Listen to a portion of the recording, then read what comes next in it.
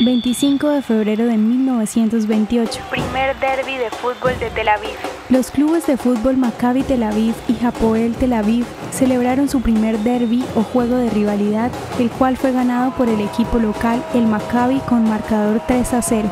El fútbol israelí profesional empezó en 1906 con la fundación de Maccabi Tel Aviv, que originalmente fue conocida como Asociación Harrison Lección Jafo, el mismo que se convirtió en el primer club judío en participar en competencias locales en 1922, incluidos los juegos contra equipos británicos que llegaron a Palestina tras la Primera Guerra Mundial.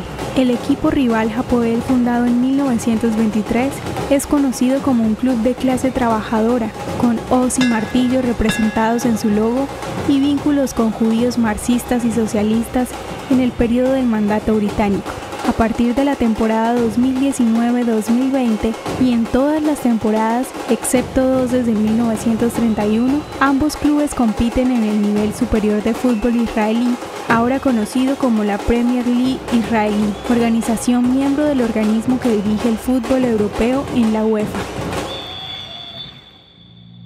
¿Te gustaría recibir estos audios en tu WhatsApp? Compartimos nuevos episodios todos los días. Suscríbete sin costo alguno ingresando a www.hoyenlahistoriadeisrael.com. Hacerlo es muy fácil.